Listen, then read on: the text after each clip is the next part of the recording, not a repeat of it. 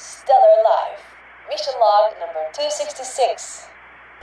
One of the great things that's happening when a mom gets to teach her child early is it's really the beginning of a lifelong relationship that just gets stronger and stronger and stronger. I think one of the sadnesses of modern life when mothers don't have that time with the baby or they don't know that the baby can learn so much. And so the baby is is loved and taken care of but not really stimulated very much. In those households mother and baby don't really get to know each other until much later and sometimes till too late. You know if you don't have enough time for your children until they get much older by the time you do have time well they don't have much time for you. So i think that this early these early first six years of life, this is the precious time when mothers and fathers and kids, they really deserve to be cocooned and absorbing everything they can from each other because that's going to be the thing that lasts for their whole life. That's what life's all about. Welcome to Stellar Life Podcast. Get inspired and live out loud. From love, freedom, and success to having it all. Here's your host, coach, speaker, and shining star, Orion. Roger, you're looking good. Hello and welcome to Stellar Life Podcast. This is your host, Orion. Today I have with me Janet Doman. She is the daughter of Glenn Doman, who founded the Institute for the Achievement of Human Potential in 1955. Janet became the director of the Institute in 1980. She is the co-founder of How to Teach Your Baby to Read, How to Multiply Your Baby's Intelligence, and How Smart is Your Baby. And what I learned from her, and I took the course from the Institute, I learned so much. I learned that little babies can read, they can do math, and they can learn music, and they can have incredible knowledge even when they're tiny, like a few months old. And it just blew my mind. So Janet Doman is just an incredible person, super intelligent, and she creates really smart kids and smart adults.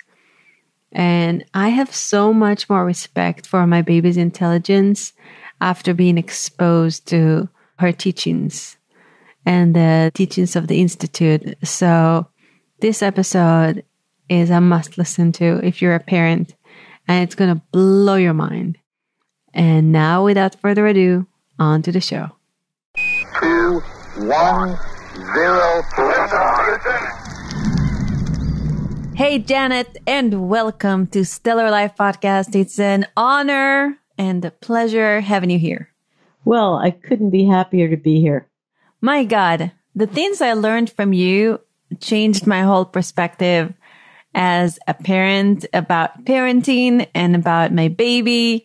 And even though I was a pretty open minded individual when it comes to my perspective with my baby's ability. I was thought he's the smartest kid in the world. but still, like I learned so much and we're going to dive in and, and talk more about how to increase your baby's intelligence and even how to look at babies. But before we begin, can you share a little bit about yourself, your journey and how did you become so fascinated with this topic? Well, I think in many ways, my life was inevitable. I was raised here at the Institutes. My father founded the Institutes in 1955, and we came here when I was six years old. It was possibly the ideal time for for us to change from a totally normal household and a normal neighborhood to this wonderful, wonderful place. And I just immediately dived into whatever my father was doing. I wanted to be there with him and my mother as well. So at first, that was following them around while they were creating what was the first rehabilitation center in the state of Pennsylvania for stroke patients primarily, but adults, 60, 70, 80 year olds who had very severe neurological problems. And I grew up with those patients. And uh, eventually, by the time I was nine or 10, my father started to move from treating adults to treating children. So then I had both adults and little brain injured kids living here. It was just an absolutely, utterly wonderful place to be. It was exciting. It was, it was like living in an emergency room, but a happy emergency room where people were getting better all the time. Mm. And it's true, my parents worked around the clock, but since I was uh, allowed to be with them wherever they were, whatever they were doing, they always included us. So it was a great, I couldn't have been luckier in my upbringing. And by the time I was nine or 10, you know, it was very clear to me that I was going to spend my life doing this. Wow. What happens in the mind of a nine year old when she comes to this decision? It was a funny thing. We had, as it happened, the winter of that year of my life, we had a very severe snowstorm, 26 inches, and that's a lot for Pennsylvania. And we had inpatients. We had lots of severely and profoundly brain injured kids. And most of our clinical staff did not live on the campus, but my family did live there. And my father basically recruited our entire kitchen staff. And then he, he literally went out. Stenton Avenue, where we are, is a snow emergency route. He went out and recruited the men on the big snow plows that came down that snow emergency route. He said to them, Look, there's nobody coming out today. Get off the tractors and come in here and help us save hurt kids. And he was so convincing that they got off the tractors and said, okay, came in and he put them to work. But when he was all done shanghaiing everybody he could, there still weren't enough hands on deck. And he turned to me and said, you know, here's what you're going to do. And I remember exactly what I thought at that moment. And that was a thought that only a nine year old would have. I said, gee, I'm a staff member now. Know? I thought you'd never ask, you know? and the snow had long gone, and I was still in the children's ward doing parts of the program that I had been trained to do. And I never stopped. In fact, when my friends would come over, I would take them in and say, if you're very well behaved, I'm going to teach you how to save a kid's life. And that was a very good litmus test for my friends because the friends who said, Oh, this is wonderful. Can I come back? I always had back. And the friends who said, Oh, I don't want to go in there, you know, that was that was a different thing. So yes, I, I really was if there's anyone on planet Earth who's had a better, luckier childhood than me, I have yet to meet them. Wow. It's very rewarding. Probably made you very mature very quickly and, and very empathetic as well. Well, I'm sure it did. I went to a small girls' school, and most of, I think I was the only person on a scholarship for many years in that school. And most of the girls were very well off. And, you know, I would come home, and my brothers would come home from the, the boys' equivalent of my school. And, you know, I'm sure sometimes we said things that were frivolous or we got into silly squabbles. And my mother would just quietly say to my father, Well, about that blind kid who was in this week, how is she doing?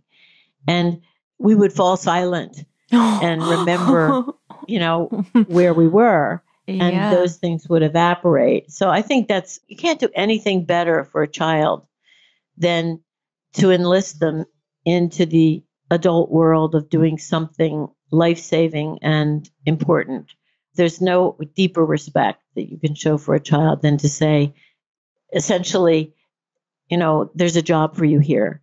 And I think for my father, his crowning thing with us, I think he was a man who always said there's enough glory for everyone. I don't have to keep it all for myself.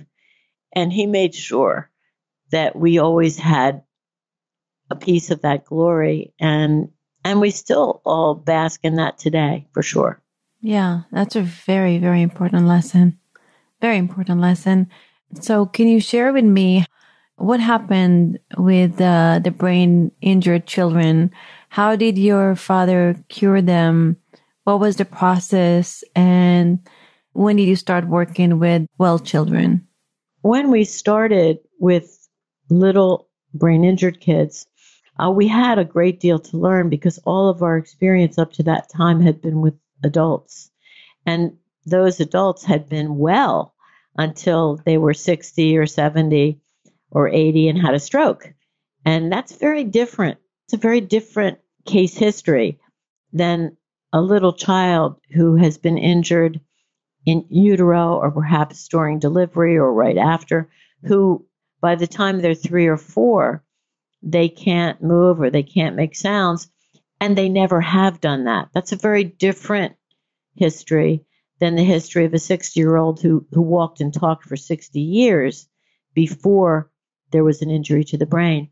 So we had a lot to learn and we used our time well in those days because we kept, we looked at how does the well baby develop? What are the critical stages for the well baby? Not just what does he do because I think before us what had been looked at in early development were to sort of catalog everything that a, that a baby does.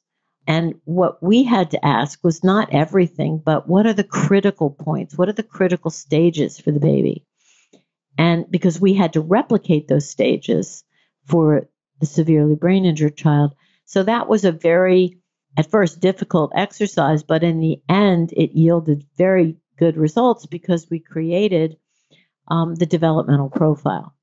And that profile shows the growth and development of the brain from birth to its completion at approximately 72 months of age. It shows the critical stages for the growth and development of the, the baby. And it shows all the sensory pathways into the brain, how they develop, how they should develop, and all the motor pathways coming out of the brain.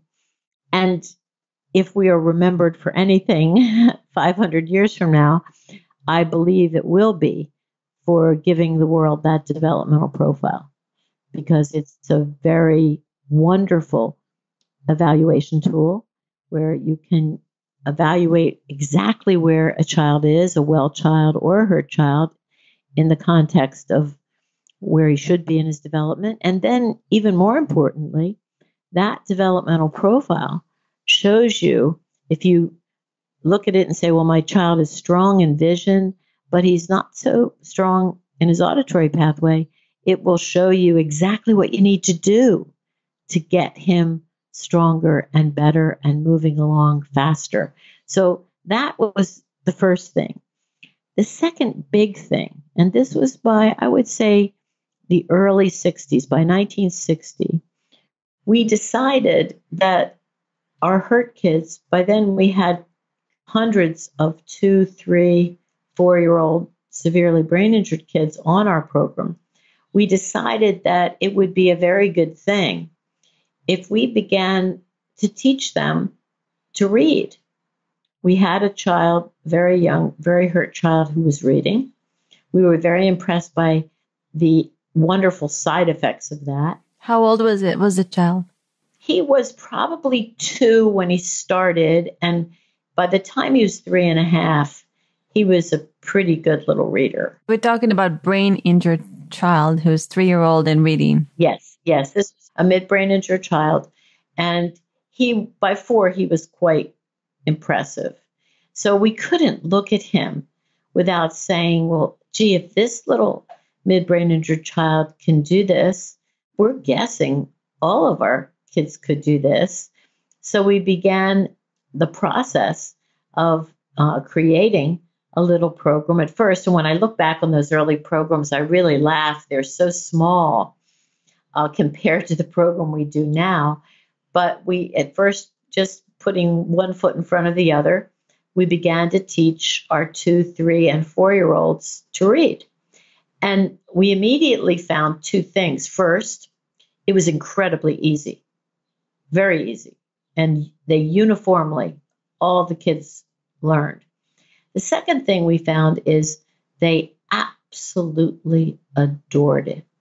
It was by far their favorite thing in the whole world. So, in the end, we became wildly enthusiastic about doing it, primarily because we said, look, these are kids who have to get up every day and fight so hard for a living.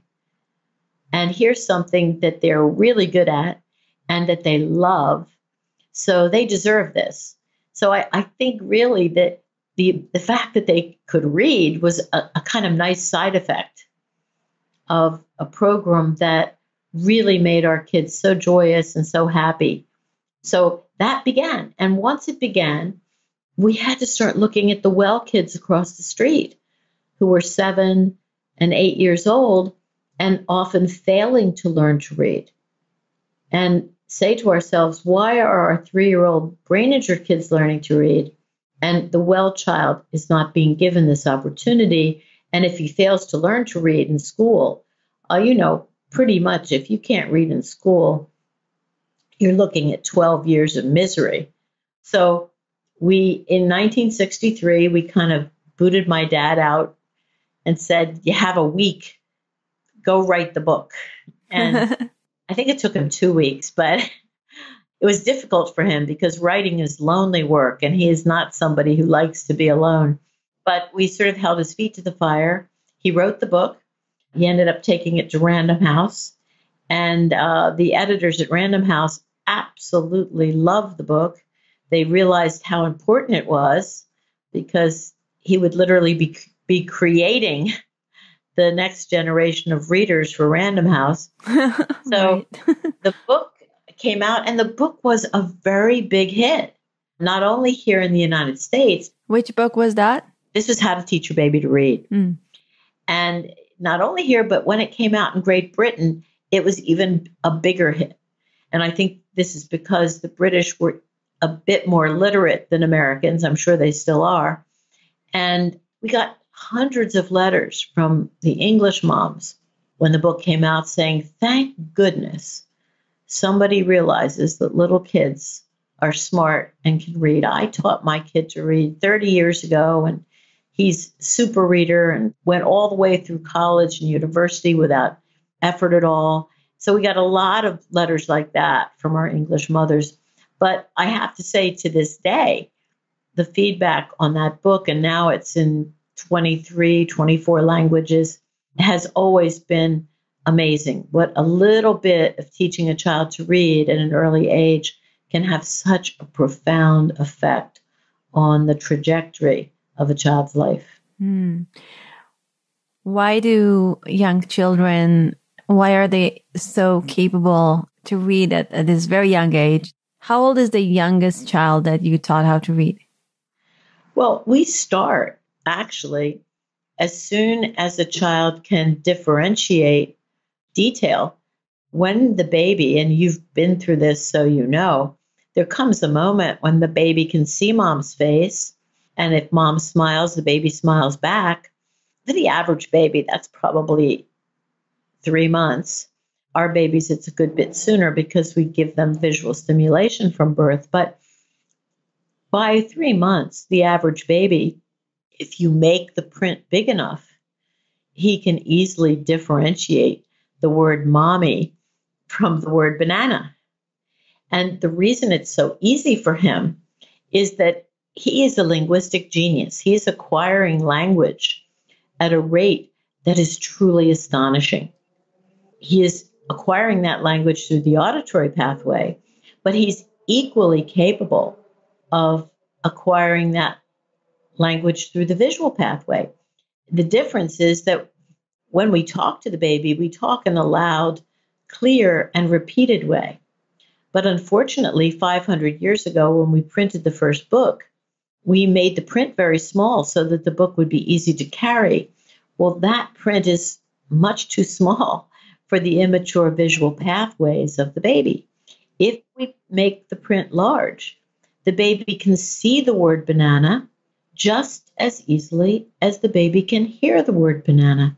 And the brain doesn't really care what pathway is used for information. The brain cares about whether the information arrives. So the brain doesn't care if it's the taste of a banana or the smell of a banana or the, the auditory word banana or the visual image of the word banana. To the brain, it's all the same. The magic is the message arriving and the baby understanding the message. So it's really quite easy to take all those familiar words that the baby is learning so rapidly and to introduce those words in a visual form, just as you would say them. No one would think it was strange to talk to a baby. We do that naturally. And because we do that, the baby acquires language very, very rapidly. So we're really just doing the same thing for the visual pathway. Mm-hmm. And Janet, can you take me through how you teach a baby to read? So you show them the the big card with the word banana, and then what? Well, we might come back after the baby has seen maybe the fruits, the vegetables that he's beginning to eat, maybe some of the things in his room that he likes, family members. Maybe we teach him hand and belly button and bubble bath and, you know, the common things that are in his environment that those are the words that mother is using all the time with him. Once those have been introduced, then we can come back and if we want, we could make some couplets. We could say yellow banana and start introducing color because the baby loves, the brain loves color. So that would be easy to make couplets with color. Or we might just come back and say big banana or little banana. Again, opposites are very easy for the baby to understand, and kids love opposites. So that would be a good thing to introduce as well then very quickly we can start doing a simple book. And probably one of the earliest books would be a book about the baby himself. I like bananas. I like apples. I like pears. And each page is illustrated with a nice picture of the baby with an apple or the baby with a pear. So the baby gets his first book very, very early on. And we might even make single word books of more exotic things. But it's a very easy, natural process. It's really about common sense more than anything else. And most importantly, it's looking at the baby and making sure that the things we're doing with him, he really likes. So if he really loves flowers, well, we're going to do more flowers. If he really loves uh, dinosaurs, then we're going to introduce dinosaurs. So we're really on a quest from the minute the baby arrives to answer the question who is this baby? Who are you? And what do you want? And to the degree we can, each day becomes an unfolding of that story. Mother gets to know the baby much more rapidly, and she's putting him on his own path. She's not putting him on her path. She's finding out who he really is, what he really needs, what he really wants. And she's paying attention to his choices. She's giving him choices as early as possible. So he's in the driver's seat. And then she's paying attention to what he chooses. And he learns very quickly. It's good to talk to mom because she pays attention to my answers. Mm. So it creates a healthier attachment with the parent as well. Oh, a completely different relationship. Wow. And so, just so the listeners will, will understand, we're not expecting the baby to read it out loud back to you. Absolutely not. First of all, we are talking about babies. They're not yet able to speak in a way that you and I understand, number one. And even if you were starting with a two or three year old, we would never ask our kids to read aloud. First of all, it really constitutes a test. You know, what does this say? That's a test. Little children love to learn. There's nothing they love more than to learn. But just like you and I, they hate to be tested. They see the test as essentially disrespectful. What they get from a test is, you don't think I know this. And of course, that's insulting. So we never test our kids. We never ask them to read aloud, even when they can read rather well. We will not encourage them to read aloud because when you and I read aloud, we read much more slowly. And when you slow down the reading process, you negatively affect comprehension. You jeopardize comprehension. And you don't want to do that when you're teaching somebody to read. You want them to fully comprehend what they're reading, get the most out of it. So anything that would slow down a child when they're reading would not be a good thing. So we would never ask a new reader or a young reader or a beginning reader to read aloud. Hmm. What's the difference between the brain capacity to receive new information of a of a 10 months old to a year old to a 6 years old? That's a very good question and I think the answer is simply that the younger you are, the easier it is to learn. Learning is an inverse function of age. So it's easier to teach a 4-year-old than a 5-year-old. It's easier to teach a 3-year-old than a 4-year-old. It's easier to teach a two year old than a three year old. And yes, it's easier to teach a one year old than a two year old. But each of those stages in development is different. You know, a two year old isn't anything like a one year old, and a four year old is utterly different than both of them. So at each stage, you have to be sensitive to who you're talking to, and you have to be adapting to that new human being because every day that you and I wake up, we're pretty much the same. But every day a little child wakes up, he's different. He's changing all the time. Yes. Wow. I just just think about my baby. It just grows so fast. Yeah, and it, it's hard for you and I to, you know, we like to get into a nice rut and do this, find a thing he loves, and then do it again and again. and that's fine for about two days. And then he's kind of looking this like, I think we've done this before. Let's move on. And that's the hard part for you and I. Mm. So, what do you do to give him more stimulation to increase? Like, I know that there is, there is also the physical aspect of increasing your baby's intelligence. Well, the physical part of our program is gigantically important. Not, as I said, not all times in a child's life are the same and can be dealt with the same way. A six month old will have incredible attention, interest, focus, concentration on things intellectual. He'll love reading words, he'll love pictures of beautiful things. He has great attention. But that same child, if you come back at 14 or 15 months, is in a totally different place. And now he really doesn't have time to look at 50 reading words or 50 pictures of something, or even time to sit through a book he's on the move, he's on his feet. And his life is now essentially focused on all things physical. Uh, Mother Nature has got to develop his safety on his feet. So from the moment he wakes up to the moment he goes to sleep, he's pretty much focused on being in motion, on developing his balance, developing his speed, his skill, so we have to adapt his program. The program that was great for him at six months would not be great for him at 15 months. We have to make a safe environment where he can do all the physical things he needs and wants to do, but safely. You know, padding out the living room floor next to the sofa because he wants to roll off the sofa 400 times, or making the, the bottom of the stairs safer because he wants to jump off that bottom step and it's just not safe for him to do so. So, what we would say is don't prevent his development, but create a safe place where he can continue to do all the things physically that Mother Nature is really demanding that he do. Mm-hmm. Yeah.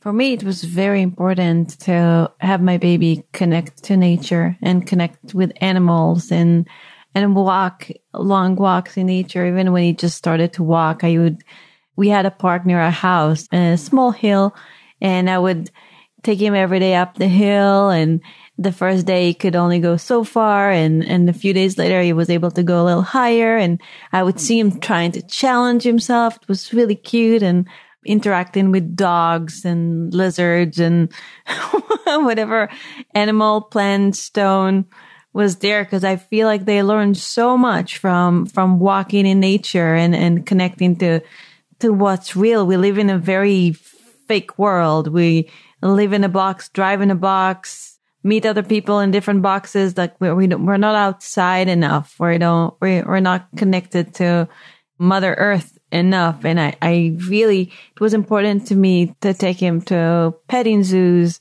when he was tiny, tiny, tiny. And they're like, are you sure he's going to enjoy it when he's that tiny? I'm like, yeah, I am. It's going to be great. And just to instill with him a love for animals and a respect for, for the earth. I'm a hundred percent with you. I mean, all the students who I've ever taught, they know that I'm an animal lover. And I mean, I told every student I ever taught in my class, you know, if an ant comes across the carpet, you help him to a safe spot. You do not harm him. You do not inhibit him. You do not capture him.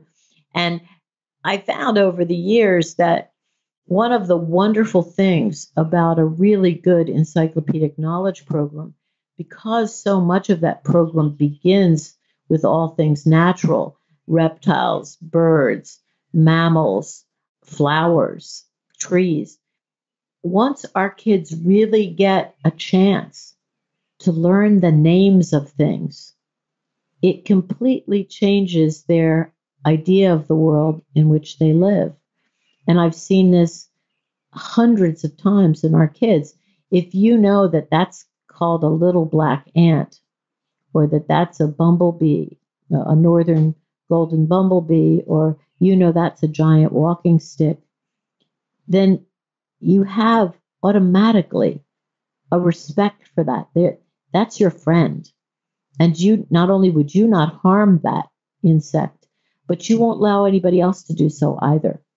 So I think that it's a very strong proof that knowledge leads to good, not the reverse. And you're right, our children now, today, have so little contact with nature.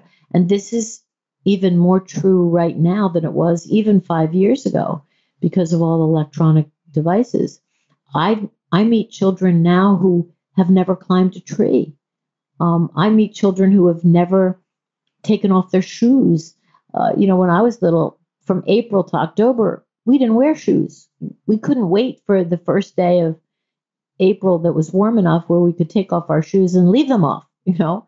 So I, I think we need, if we want our children to take care of this gorgeous, gorgeous Garden of Eden that we live in, then we have to introduce them to that garden as early as possible so they'll have the respect and the love for it that is completely natural if we have that database for them if they know what that insect is called or that reptile or that flower then it's a very very different thing so i think all the things you did intuitively are exactly the right things and can be tremendously enhanced and expanded with the reading program or the encyclopedic knowledge program.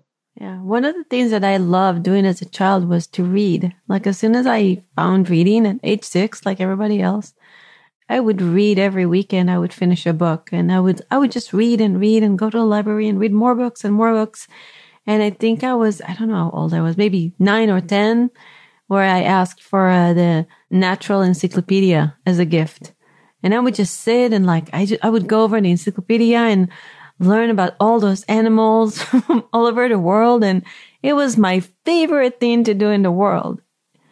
So I, I guess that's why I want to, I get, and, and I used to be in the backyard ba- barefoot. I'm from Israel, so lots of stray cats. So I would see the, the cats and kittens and I would pretend that I'm Tarzan and climb trees and watch the animals.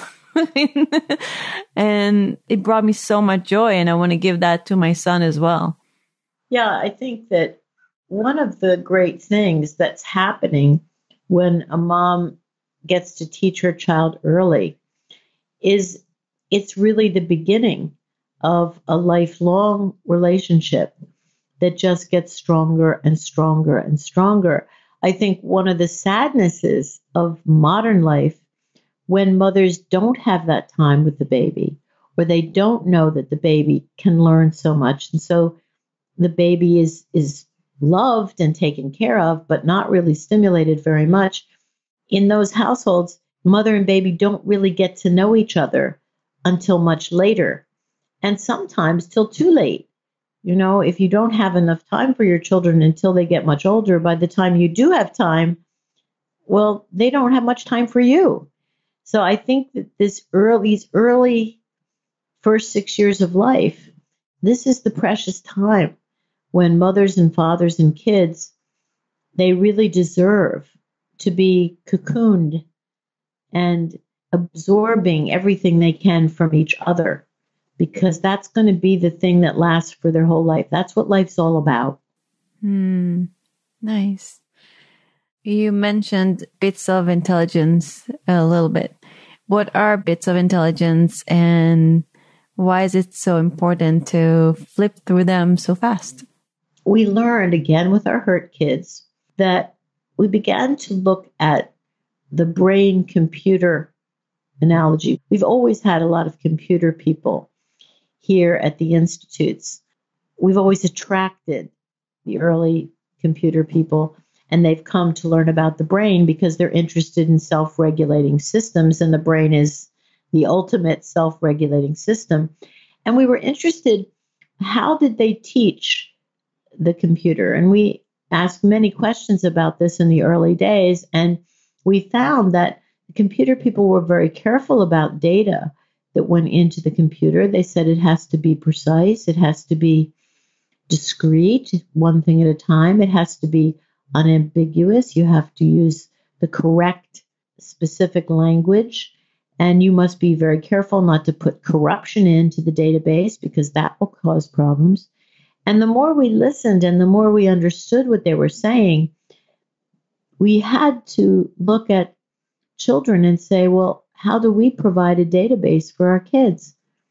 We're doing this very careful job with the with the machines called computers, but if you really look at how a child acquires data, especially in the first 6 years of life, it's pretty much by accident. It's very rare that somebody sits down and says, "Well, here are the basic things that you'd need in a database." in the first six years of life. Uh, that doesn't happen. And this is really the food of the cortex. Just as the body needs food, and we take time and energy, and we're very careful about what broccoli we pick and how we wash it and how we cut it and how we steam it just for the right amount of time so there's lots of nutrients. We even put it on the plate very carefully and maybe we take a taste of it and say, oh, broccoli, this is so delicious. So that we can say to our child, Let, let's eat something really healthy because we want the body to be strong and to grow and be healthy. But we should have the same concerns about the cortex, which is also growing and which also needs food. In fact, what happens? The, the cortex pretty much gets everything by accident imagine if we if we fed our kids by accident if we just said oh I'm, I'm a little busy today i don't think we'll we'll go shopping we don't need to eat today we can eat tomorrow or what if we just sent our three year old out in the back of the house to say well yeah i know you're hungry. Go out and see what you can find. This is unthinkable. Mothers spend huge amounts of time on feeding the body. And we're saying we should spend an equal amount of time if not more on feeding the cortex. Because if a three year old has a choice between intellectual stimulation and eating, he'll take intellectual stimulation every time. Every time. So basically, when we decided, we looked at this, we started to create um, little mini databases, and we began with birds because we we happened to be able to find them, and so we made beautiful bird bits of intelligence, big, clear, accurate pictures. And we found our kids love them. Well, then we tried, we did some insects and we found they liked them just as well. Um, we went through the animal kingdom, as you can imagine. And at some point, and this is sort of funny because sometimes you learn the most important things when you get desperate, we ran out of animals. We just didn't have any more books to cut up for our kids. So we went to the bookstores and you know often in the bookstore there are books for sale and they're very frequently art books because they're expensive and they're large and they're very sophisticated. So they were inexpensive. They had beautiful pictures. So we took some art books, you know, maybe it would be a book of Picasso or a book of Rembrandt or maybe Cezanne, and we took them home and we started to make beautiful sets of these master works. And we found that our children just adored them. They couldn't get enough.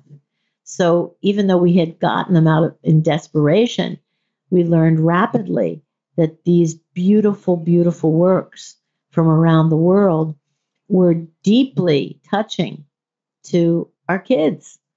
So from that day, now 45 years ago to this day, we've just been expanding and expanding. I, I don't, there's very little that our parents haven't tried at this and that some kid somewhere hasn't said, oh, this is my favorite, mom. I love these. Right.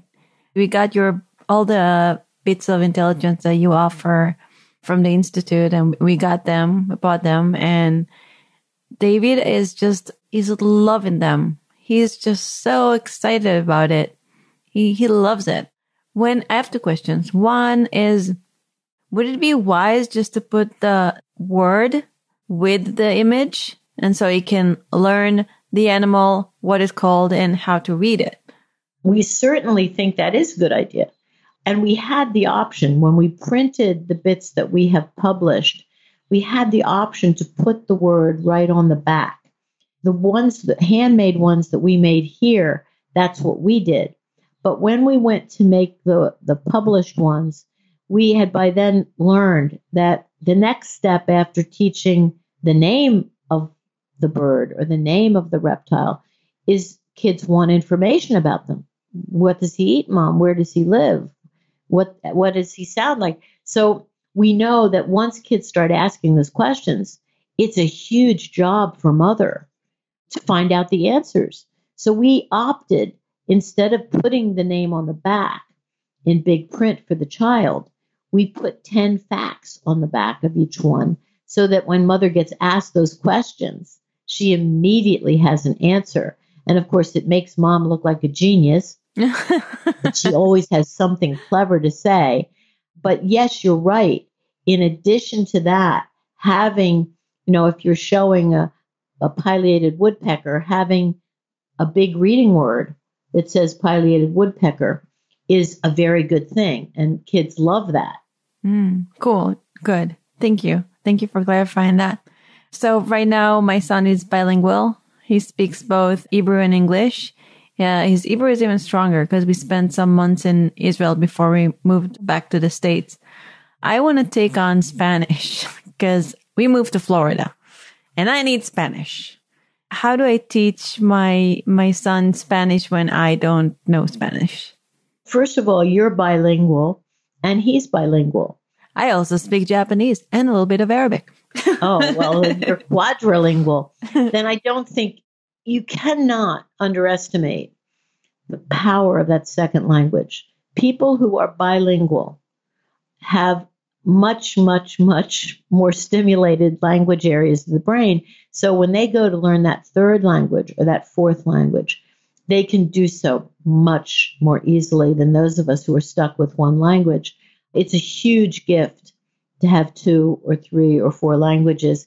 So I don't, first of all, I don't think it'd be very difficult. And secondly, I think you just approach it by combining uh, what you've learned in the reading program because it's very powerful when you're learning a new language to teach your child to read in that language.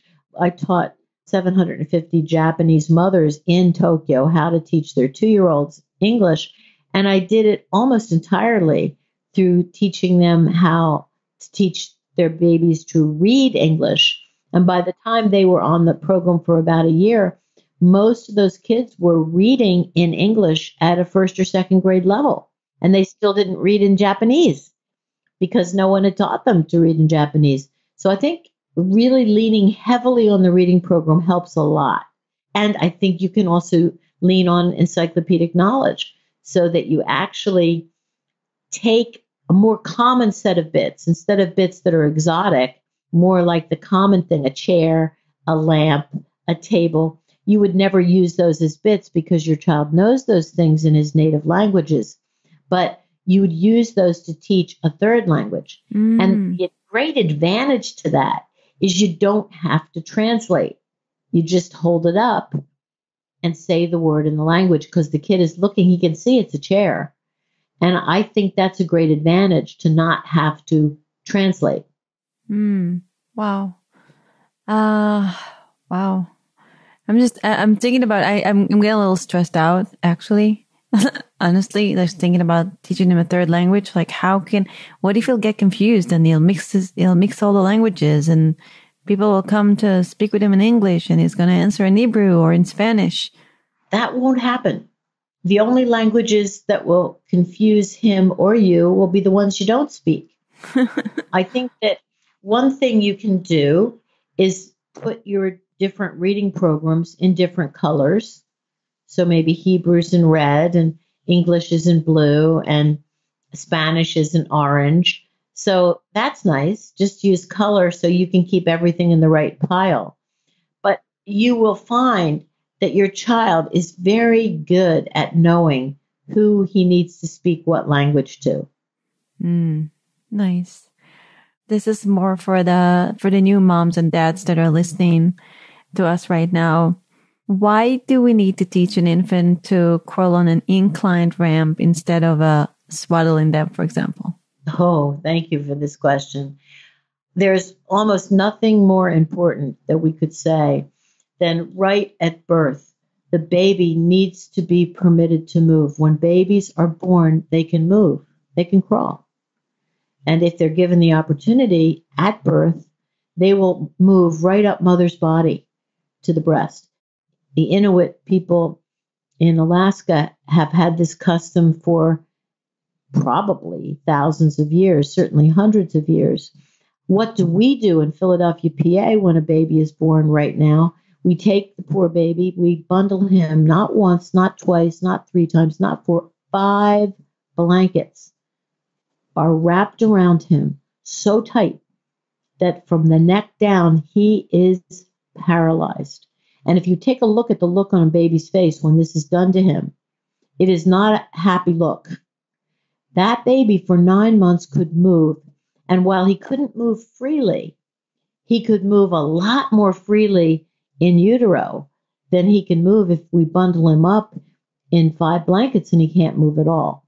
So it is a travesty to do this to the baby. It should be, honestly, it, it, it almost verges on criminal stupidity um, to take the baby and absolutely prevent him from moving, paralyze him from the neck down. I did that and I didn't know better. I thought, oh my God, I'm doing the best thing for my baby. This is what Of everybody course. else are doing. And there are, there are experts in books that tell you to swaddle them. It makes them comfortable. They feel like they're in the womb. And, and actually, when I did swaddle my baby, he slept a little better. So what do you think about that? I think, of course, the baby sleeps. What are his options? if I did that to you, you would sleep. But for me to make it a virtue of that, see, it goes back to the thinking way of the first 12 months of life. Basically, if we see the first 12 months of life as okay, the baby, he doesn't understand anything and he can't really move. And there's really not much to do with him. The more he sleeps, the better, because then I can get my work done. And then he's not crying. And then I know he's okay. So it's all about put him in a wheelchair, bundle him up, hope he's going to sleep. It's the same thing we do to the elderly. We put them in wheelchairs, bundle them up, and medicate them. And then they're not such a pain in the neck. They're not complaining. Really, honestly, babies should be interviewed and asked, would you like to be paralyzed from the neck down, or would you prefer to be moving freely at will?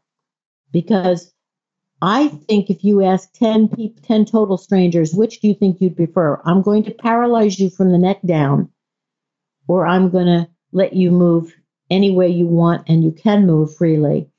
I think this is what's commonly called a no brainer.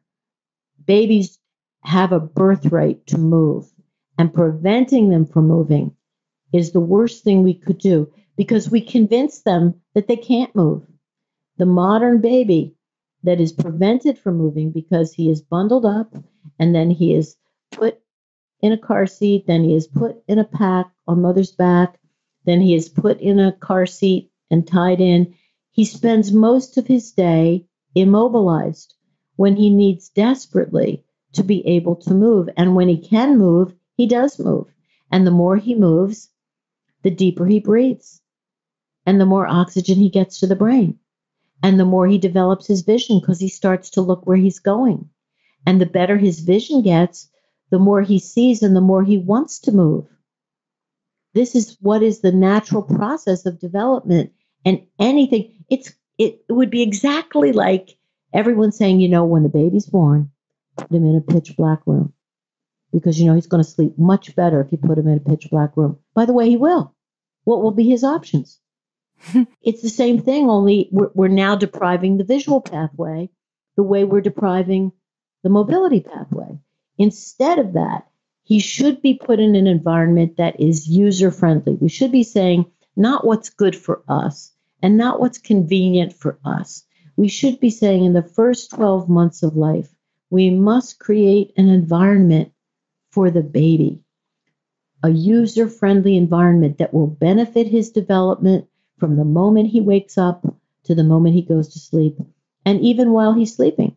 And that environment for the newborn is a beautiful, smooth, warm, clean floor. And in this case, the baby crawling track allows him to have his own clean, smooth, warm floor. And if we elevate that floor, we will make it even easier for him to be able to, any movement he makes will help him move down that inclined baby track. And he will realize, aha, I can move. I can get myself from point A to point B all by myself. So by the time our babies are two and a half, three months old, they may be doing between 400 and 500 meters of crawling every day. Do you think those babies sleep well? They certainly do. They sleep the sleep of honest fatigue. Do you think they eat well? Of course they do. They're hungry. Do you think they have big chests and they get more oxygen to the brain? Yes, they do. Do you think they're healthier? Yes, they are. Everything improves when we get the baby moving. Wow, this is so powerful. So powerful. I wish I knew that earlier. But something that happened to my son was that, you know, as a new mom, everybody's, eh, you know, they scare you and they're like, you have to put him on his back he needs to be on his back. He needs to be on his back and, um, or he, you know, he can die of SID in, in a mysterious way. And I know that for, for, hun- you know, thousands of years, babies were put on their tummy going to sleep. But the new, in the last, I don't know how, however many years, this is the wrong thing to do and not the recommended thing to do. So I put him on his back and he, he developed this awful flat head and I was, I didn't want to put a helmet on him and I would just put him on his tummy for hours and hours and hours on end because I want him to. We also did a, oh, how do you say it? Cranial sacral massage. Mm-hmm. With yes. the for the baby, which was very helpful, but I had him on on his tummy for many many hours, as much as I can, and then sometimes I had I had him sleep on his side, just so he won't because this can develop to into I feel brain damage if it becomes too severe. What are your thoughts on that? Well, I think your instincts were all correct. I think you will find if you look at the earliest papers that were written probably now give or take 5 years, 20 years ago, even when the advice was given radical and unproven at the time, to put babies on their backs. They said in that earliest work, except if the child has a neurological problem. If the child is brain injured, you must leave him on his belly. It would be unsafe for him to be on his back. Now, that is a very curious PS on that article that they were not willing to make the radical change for the severely brain injured child. And uh, the statement that that might be unsafe for the brain injured child is nothing more than the truth. It would be very unsafe. I would predict, and by the way, the contention that it was sleep position that was the causative thing in SIDS has not been proven. I have my own theory of what causes SIDS, but I'm not going to get into that right now. Well, if you look at the literature, you will see that it's one of those things that got started and then it turned out that it wasn't really true, but nobody went back and corrected it. If you look up SIDS now, you will not find that there is great literature and proof on, oh, it's all about the sleep position.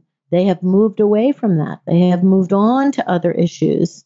And again, I think your instincts are correct. There is no reason, absolutely no reason from the moment a child wakes up until he goes to bed at night, there is no reason at all why that child should be on his back. He should be on his belly, free to move, supervised, of course, every second. That goes without saying.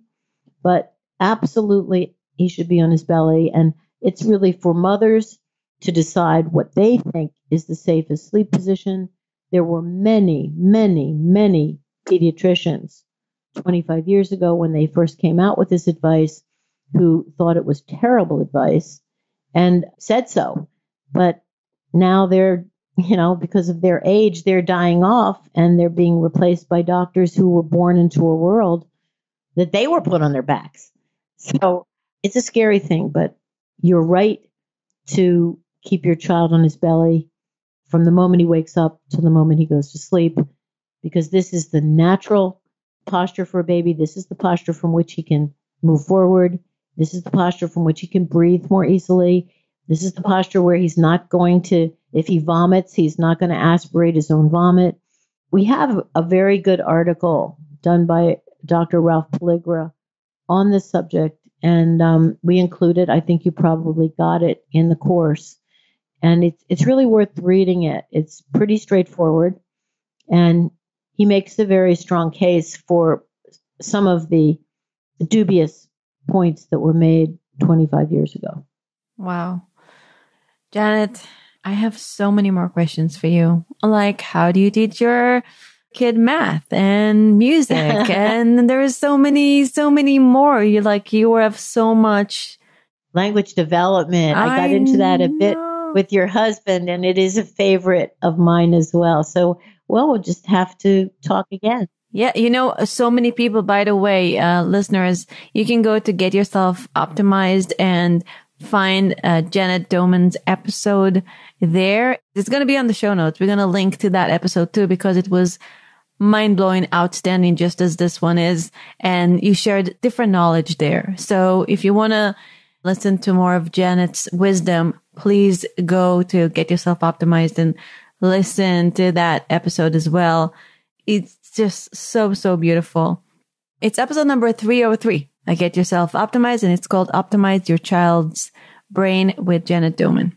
So yeah, uh, you talk a little bit about that in the other episode. And if people cannot, you know, if they listen to this one and this one and are like, I'm sure they're overwhelmed with how incredible this information is because, you know, many of the listeners on Get Yourself Optimized were commenting about how amazing this episode was. So where can people go and find more about you and buy the bits of intelligence and get the books and maybe do a course with the Institute?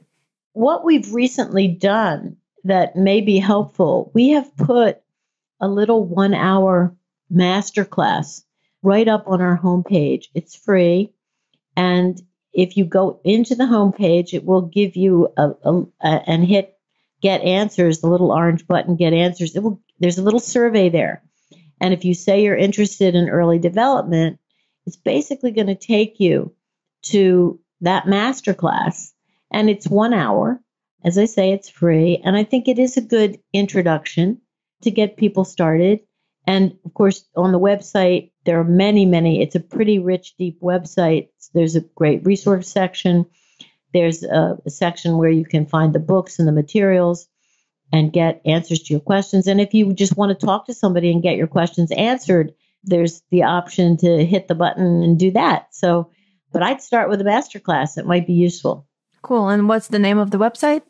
That's I A H P, our initials, the Institutes for the Achievement of Human Potential, dot O-R-G.